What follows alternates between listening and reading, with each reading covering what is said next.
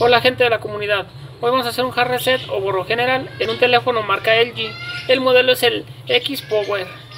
Para hacerlo el teléfono debe estar 100% apagado y vamos a presionar el botón de bajar volumen y el de encendido o power juntos.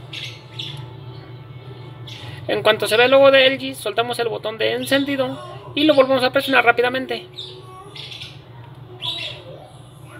Listo. Aquí nos va a aparecer este menú.